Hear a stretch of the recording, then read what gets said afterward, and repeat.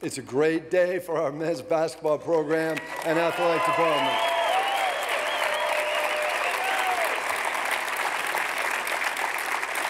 Today, I'm absolutely thrilled to formally welcome to Brigham Young University our new head men's basketball coach, Kevin Young.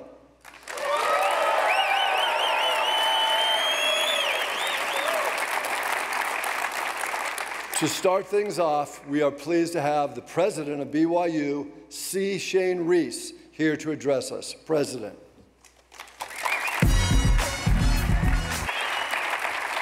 Thank you, President Reese. It's now my pleasure to introduce Kevin Young. We had a variety of excellent candidates and a lot of interest in this position. We're blessed to be in a position right now of strength in our program. Kevin is not someone that just came to us out of the blue. We had our eye on him for quite a while. It has been remarkable to see all that he has accomplished at the NBA level. His character is impeccable. It is in incredible how well regarded he is by individuals all throughout college basketball and throughout the NBA. Kevin is a remarkable fit here at BYU. He understands what we're all about here at BYU. He's committed to doing the right thing. Having been on calls yesterday with him and our players, I'm so excited to witness the impact that he will have on these young men and how he can relate and build meaningful relationships with them. Let's take things to the next level. Cougar fans, it's time. Lights, lights, lights.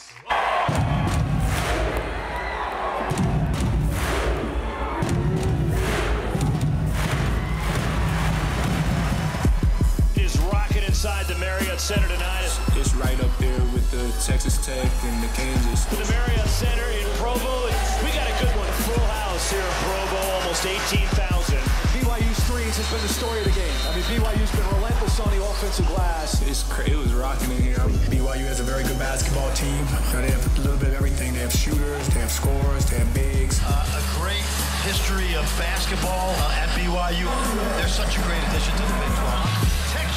Textbook offensive basketball for 20 One of the most prolific offensive teams in the country. It comes down to having shot makers, and they've got plenty of them. This is an elite level scoring offense. You What a scene here at the Marriott Center. All right, Chris, I'm officially putting this on my list of must-see places if you want some of the best atmosphere in college basketball. BYU is the real deal. When this team has it rolling,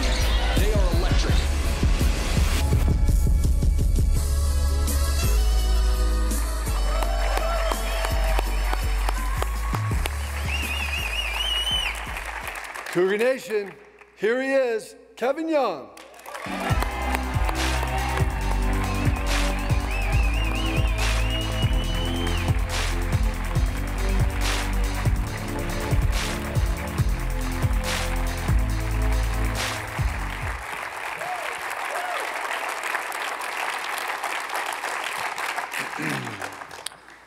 Appreciate it, everyone.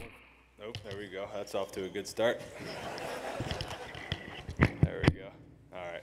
Um, wow, this is exciting for me and my family. Just uh, I don't know when you're doing everything on the phone and you're and you're and you're not here to feel the energy and, and just feel this building. Um, when you step foot in here, even my my kids, um, that this place is going to be rocking. We're going to get this thing rolling. So.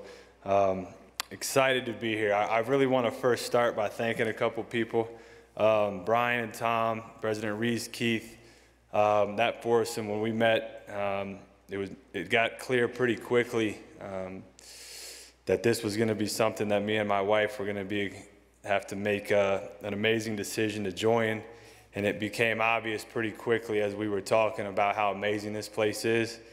Um, and I'll speak to that a little bit more, but I really want to thank you four guys in particular as we went through the process. Um, as President mentioned, uh, I got a lot of my family here. Uh, I want to first thank my wife. She's been my rock for uh, 13 years, and the coaching world is one uh, that's not easy on families. It's not easy raising little ones, and we got three of them. Jude, Van, and Zoe are, have been right there with us for, for a good majority of it. So excited that they're here with us too. And then my mom and dad and all my siblings are here as well. So um, I'm one of six, and, and, and even Aaron, what's up, dude? Haven't seen you. Uh, even, uh, BYU alum, I might add. So he, he's here. Meg, hey, um, and my, a couple of my, my nieces too. So it's a really special day for our family, and uh, we certainly don't take it lightly. So I also want to thank a few other people that, that have been really instrumental in, in, in me getting here. Um, you know, James Jones and Mat Ishbia with the Phoenix Suns and Coach Vogel, who I'm working for now, Monty Williams, who's been a huge mentor of mine and is uh, an outstanding guy. And funny enough, opened up every meeting with an opening prayer. True story for the last couple years in Phoenix, so pretty used to that. Um, Brett Brown, who hired me in Philadelphia, is one of my greatest mentors.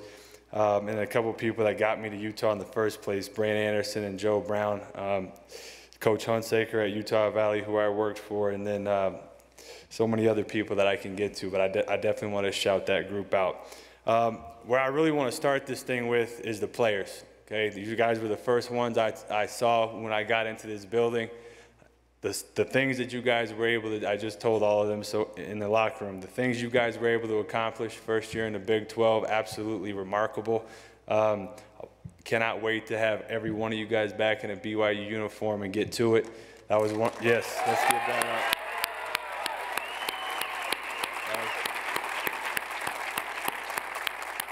And so that, make no mistake about it, that's my first priority is, is those guys. And, and, I can't, I've already started building relationships with those guys. And um, we're going to take that part of it to a, to a whole nother level. That's, if anybody, I've learned anything in the NBA, it's, it's about, this whole thing is about relationships. I've been able to build some with some of the best players in the world. I'm currently still working with those guys and hoping to take them to, to somewhere they haven't been yet um, in this playoff run. But that's what it's all about is those relationships. So those guys heard me talk about it a few minutes ago and look forward to that. Um, with that being said, this is a new challenge for me. You know, I've been I've been on a different side of basketball all of my career, and I as I went through the process, um, getting to this decision, the, the excitement I had for the new challenge at hand in terms of transitioning to the college world, coming from the world I was in, got me extremely excited the more I started to wrap my head around what that looks like. And the thing that really moved the needle for me and my wife was the environment that we're going to be doing it in here at BYU. What this university stands for, what the mission of this university is. Um, I'm a lifelong member of the church. Um, so to be able to do what I love at the highest level from a career standpoint and blend that with my faith and being able to do it with my wife and my three little ones, that's why we came here, okay? That's why we came here.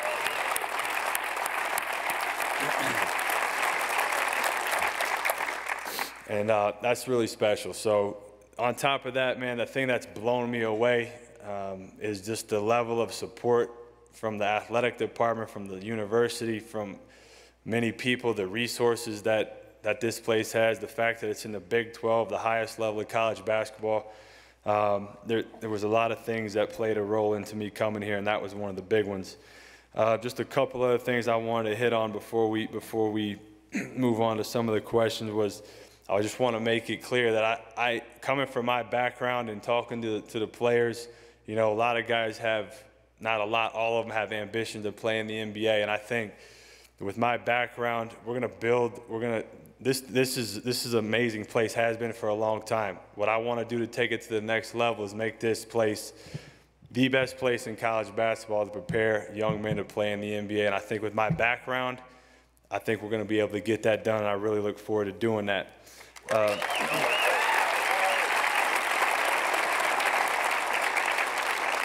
and the, what I've also learned really quickly is because of the history of this school and this program and what you guys have been able to accomplish long before I showed up, in addition with the resources, in addition to uh, what the reputation of this school is, players want to play here. I've, I've learned that quickly. Players want to play here and coaches want to coach here. And I'm in the process now of putting together a staff, talking to a lot of different people. This is a very desirable place to be. I look forward to teaming up with a lot of elite people that we're going to get in here to do this thing together. And uh, with that, let's go Cougs.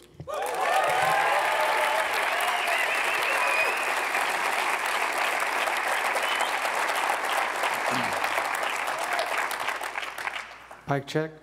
Um, at this time, we'll open things up for questions for the media for Coach Young. Um, please raise your hand if you have a question. We'll bring the microphone to you. Please stand, state your name and your news outlet.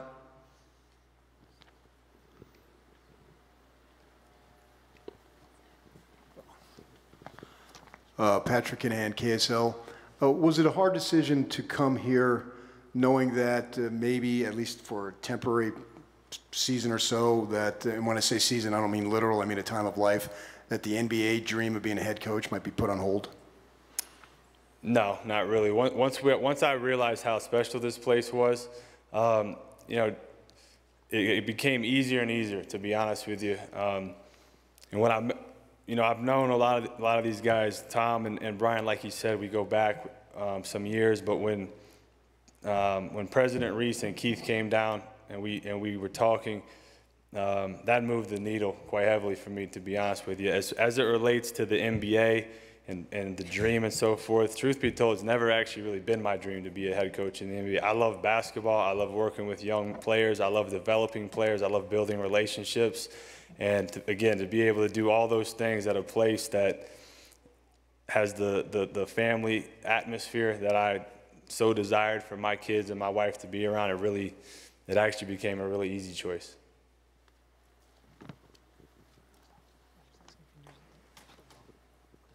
John Coon, Associated Press. Um, you know, BYU's had a tradition the last couple of years of, of having kind of a wide open offense, mm-hmm. emphasis on three point shooting. What, what's your philosophy in terms of offense and defense that you plan to bring to BYU? Yeah, I mean, you know, I've been a, kind of my my label, I so to speak, in the NBA world has been, uh, you know, I've run the offense of every team that I've, that I've, been a part of, and a lot of that's been based around, you know, where the NBA shifted to, which is kind of how BYU started, has played over the last couple years, fast pace, getting up and down, spreading the floor out, you know, five out, read and react. So there's going to be a lot of that. You know, I was encourage, encouraging our guys to you know, watch this this uh, series of the Suns and the and the uh, T Wolves to kind of take notes on how we're doing some things there. Um, so there'll be some similarities with teams I've coached in the NBA for sure, but you know, I think I'm a, I'm a modern thinker of the game. I want to push the envelope and um, analytically push the envelope. You know, with shooting threes, as you mentioned, and defensively, that's where I get really excited because I've been able on the offensive side so long in the NBA. You know, you have you you see how elite defenses guard certain things, and I've been able to put together a pretty um, extensive defensive background that, with the rules in college obviously being different, um, I look forward to being able to scheme and, and get creative here on that side of the ball as well. Lloyd Daily Herald, the college game may be closer to the professional game than it's ever been at this point, but it's still different. What's it like what do you think it's going to be like to adapt to the challenges of NIL, transfer portal, all of those elements that, that are a little different in the college world than they are in the NBA world? Yeah, I mean, obviously, that's that. What you just spoke on the last bit there is the the biggest difference. The big thing for me there is number one, great support here in terms of administration, um, how things are run here. That put me at. I was scared of that, to be honest with you, still am. But um, being able to rely on the people that are here and then that's the huge priority to me with the staff is having people that I, I, can surround myself with that have an amazing grasp on that but not just a grasp on it that are elite at, at navigating those waters that can really help me uh, do what I'm, I think I'm best at. Hi, I'm Greg Wrubell. I'm your radio play-by-play guy. All right. Once upon a time, you were part of a couple of college coaching staffs. What excites you most about being back in the college game generally and about being at BYU specifically? So, some of you guys know might know some of my history, maybe not. Um, I so it's not going to be the first time I've, I've lived in the area. Uh, I coached for the Utah Flash, which was the old minor league of the Jazz. I lived, in fact, I lived in BYU housing and met my wife while she was a student at BYU. Um, so I'm familiar with everything that's going on around here. And I, when I was doing that, that was during the Jimmers era here. I remember coming to an, a game here. I believe it was against Wake Forest, and that was my first time ever coming to a game here. And uh, that was most incredible atmosphere I'd been in at the college level. And so, that's what excites me. The passion, the it's crazy in here. I mean, the hype video had me hype. I was ready to get these guys running suicides and get to it right now. But uh, um, yeah, it's, it's just different. So for my kids, they're you know my family, my boys and, and my daughter Zoe, you know they're they haven't experienced that that passion. Really, the NBA you get it some, but not not like it, it, it is here. So that's probably the thing that excites me the most is just the overall passion that this place has. Matt Baiamonte, KSL News Radio. How do you plan on juggling finishing up with the Phoenix Yeah. Suns and get, getting started here at BYU? Fantastic question. It's uh, it's it's going to be a challenge, but I look forward to it um, because a lot of special things that and relationships I have with those guys down in Phoenix. Um, couple of them I've been with for four years, and two wins away from winning an uh, NBA championship with with Book in particular.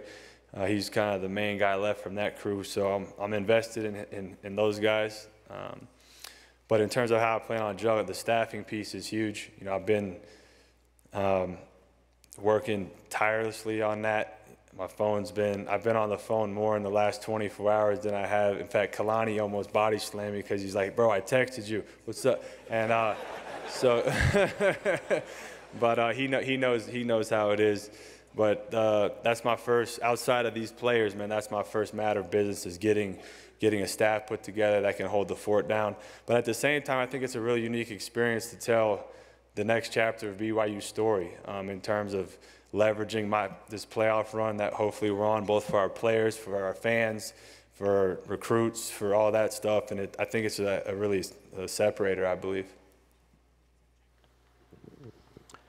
Jake Hatch, the KSL Sports Zone. Building off Matt's question, how are you going to adapt to recruiting? Because you haven't had to do that in 15 Yeah. years in the NBA. Yep. You know, it's it's what I'm learning is it's actually starting to trend to more similar to the way that the NBA works as I'm learning the ins and outs of it. But again, leveraging relationships. Man, I've been coaching for almost 20 years. I know people at every level. Um, it's been amazing to just kind of have a reminder of how big you know my network actually is. Um, and again, relationships in this business are the most uh, of the utmost importance, both with the players and with the, the people that on the grassroots front, agents, coaches, the whole nine yards. So my own personal network, but the staff piece is enormous there. I'm going to surround myself with people that that's what they're elite at, and uh, that's what's going to help us the most. Darnell Dickson, Daily Herald. Can you take us through the timeline of when you became aware that the job was open and then your interaction with Tom and Brian getting to this point? That that'd be a great movie, actually. Uh, um, yeah. I, honestly, at this point, all the days are running together, so I don't remember exactly how things went down. But um, just to be transparent, I was I was making the interview circuit in the NBA on some head coaching fronts, and uh, all all the while we had a six or seven day road trip with the Suns. So I would break off from them and go have meetings with executives and owners, and then fly back and meet the team and and so forth. So I was already juggling a lot. And then right when I landed from one of those meetings, I had gotten a, I had gotten a word of, of you know Coach Pope leaving to Kentucky, which tremendous opportunity for him. And shortly after that, my phone rang. Um, and then just wildfire happened after that, to be honest with you. So I was juggling a lot. Me and my wife. The tricky part, honestly, was her and I weren't together. I was on the road. We was in L.A., Sac, Minnesota, and we we're trying to make maybe arguably the most, the biggest decision of our lives. And so I was trying to tell everyone involved, man, I just got to get home. I just got to get home to my wife. I got to look at her in the eyes, and we got to talk this thing through. And uh, it's been a wild ride, but. Uh, you know, we obviously landed in an amazing place. Coach uh, Dave McCann from BYU TV and the Deseret News. Congratulations Thank and you. welcome. I want to follow up on that just a moment. Can you take us to that first conversation with your wife when you told her that BYU called and how that played out? And then also, when you go back to the Suns, have they seen you with a cleanly shaven face where you have to reintroduce yourself? So I'll- I'll start there. So uh, I walked into practice. So we had practice this morning in Phoenix. So we're getting ready for the playoffs, as I keep saying. But uh, no, they hadn't actually. So I walked in there, and all the guys were kind of looking at me, you know, and uh, we had a good laugh about it. But uh, funny enough, with that, my wife's been wanting me to shave for like 13 years. So the fact that uh, here it is, so she's happy about that. But um, in terms of uh, her first reaction, though, a lot of emotion, and I actually, I'm actually going to take you past her first emotion.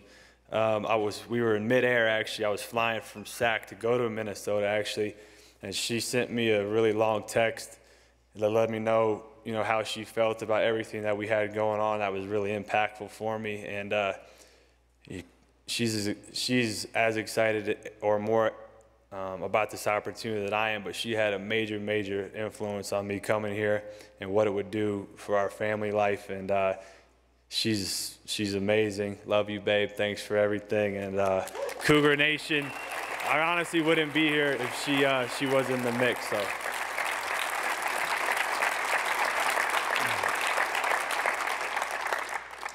Jay Drew, Deseret News. Kevin, uh, when did you first decide that you wanted to be a coach, to be in the, this profession? And when did it first cross your mind the possibility existed that you could be the coach of BYU? So I was really lucky as a player. I always had really good coaches. Um, the whole reason I wanted to be a coach was uh, my high school coach, Roger Quam, who I should have shouted out at the beginning. So, coach, I apologize for that. But um, yeah, he's had probably the most. he's been the most impactful person on my on my life uh, as a youngster when I was in high school, and um, I wanted to be like him. He had a great life. He had five kids, and he coached basketball and taught PE every day. And I was like, that seems pretty cool. And so uh, that's what I want. I wanted to be just like him. And then uh, I got in. I played in, in college and jumped right into coaching. And you know, one thing led to another that took me to a different path. But in terms of ever thinking I could be the coach at BYU, um, you know, got connected with with Brian and Tom um, about four or five years ago uh, through a mutual connection when I was out in Philadelphia. And, uh, you know, kind of some seeds were planted. And in the back of my mind, I thought, you know, maybe, maybe, maybe one day that's something that, w- that would happen. And never in a million years thought it would happen at the timeline that it did. But, you know, I'm a firm believer everything truly does happen for a reason. And uh, it's, it's amazing how everything lined up for it to happen right now. All right, we have one more question for you, Coach. Okay. Hi, and welcome to BYU Coach. My name is Olivia Allen, and I'm one of the Co Rock presidents for this upcoming year, and we are absolutely stoked that you are here. The Rock is considered by many to be the best student section in the nation. How excited are you to have them behind you this upcoming season? Well, well, first of all, thank you for the question, and I look forward to getting to know all the all the students here on campus as well. But yeah, I'm, I'm, I'm thrilled about it. I, I, I'm, I'm thrilled about it for my, my kids, honestly, so they can feel what it's going to be like in here, how loud it's going to get in here, the passion that everybody has. Um, you know, I've coached a couple. I've coached a couple players that have played at Duke that I hear maybe might rival the fans here. So I want to be able to rub it in those guys' faces about how much better this place is than that place. So.